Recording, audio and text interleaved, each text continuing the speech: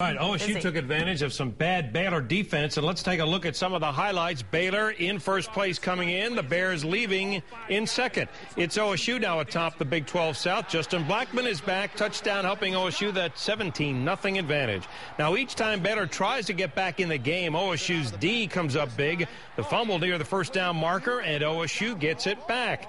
Kendall Hunter with two one-yard touchdowns. Here's one of those. 24 nothing at this point, and the romp is on. Again, Baylor deep in OSU territory. Griffin's pass picked off in the end zone by Johnny Thomas. 24 nothing OSU at the half. And to begin the third quarter, right off the bat, the reverse to Blackmon. Blackmon breaks loose, and he goes the distance. Touchdown, Oklahoma State. 31 nothing early in the third. Your final 55-28. OSU with a school record 725 yards of offense. Weeden three TD passes, 34 completions, 433 yards. Caden with a post game from Stillwater. Al, the Cowboys take over first place in the Big 12 South, and they do it with the team's most complete performance of the year.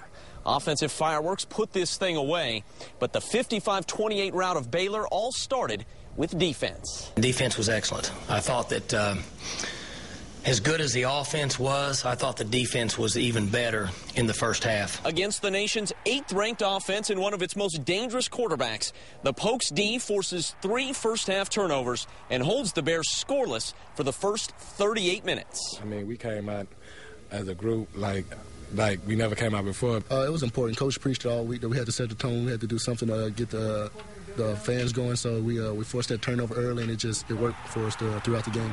Offensively, with Justin Blackmon back, OSU again unstoppable. 725 total yards, a school record 428 passing for Brandon Weeden. It's, a, it's an honor, you know, just to be uh, mentioned with those guys that had the records before. It's an honor. Uh, but I, I, really, truly, I, I tested to those guys that made plays, you know, with the ball in their hands. Uh, they played great all day. It was one of those days, John, where everything worked. So obviously there was a good plan and the players bought in and things just worked. And sometimes that happens. And when that happens, it's usually a pretty good day. So it is November, and the Cowboys still control their Big 12 title destiny. Three games to go, and it all starts against the defending Big 12 champion, Texas, next week in Austin. From here in Stillwater, where the Cowboys rout Baylor 55 28, Caden McFarland, 2 News works for you. Caden,